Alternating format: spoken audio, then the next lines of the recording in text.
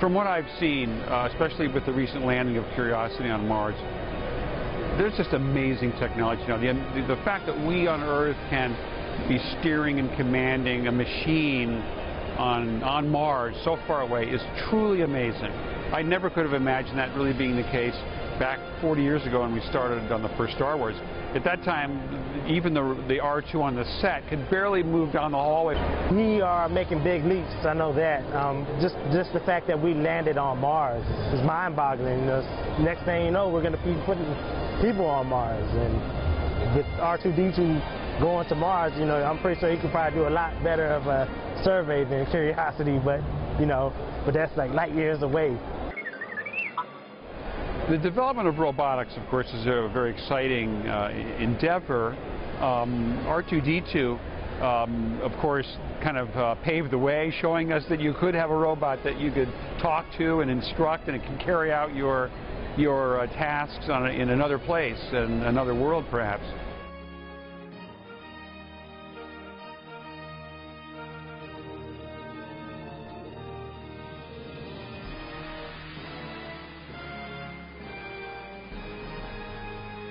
Mars has wind, and of course it has uh, little uh, tornado-like, you know, dust clouds moving about. So I would imagine there's be good wind sounds on Mars, whistling around the edges of the, you know, Curiosity, for instance, uh, and I'd love to hear it.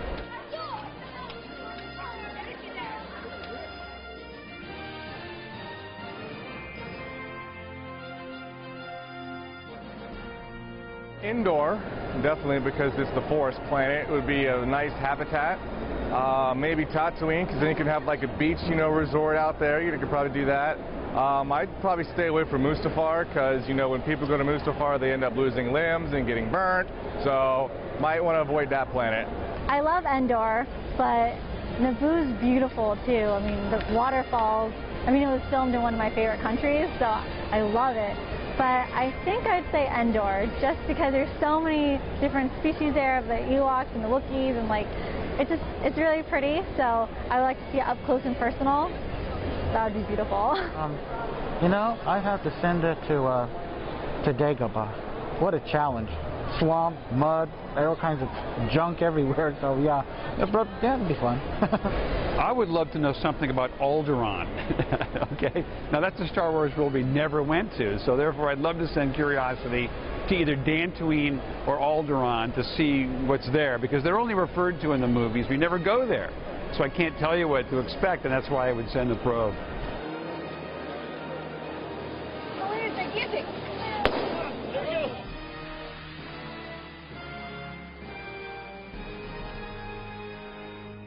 I think good science fiction motivates good science.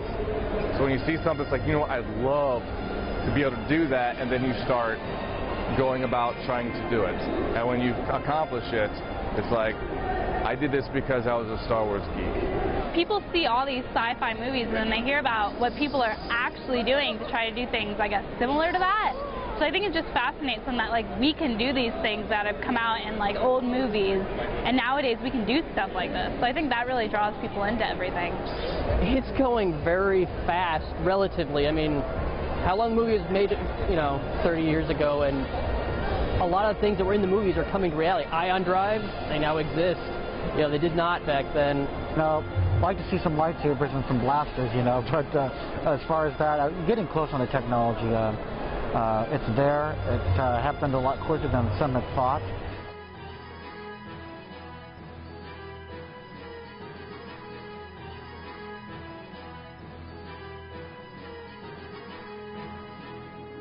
Han Solo has the courage, but he's kind of reckless. So maybe Han. I'm partial. I think the best astronaut would be the stormtroopers because they're trained so much. They can do practically anything. So I think that they would definitely pick up NASA like space training the fastest and the easiest. And they look really good in a spacesuit. Definitely Darth Vader. He's already equipped to uh, to breathe in space. He needs nothing else. He's, he's ready to go. Definitely Darth Vader. Probably Jaina Solo. She seems to be very um, mechanically inclined, and so astronauts need to be able to fix things extremely fast and efficiently. Uh, clearly, Princess Leia. She's the best character in all the movies.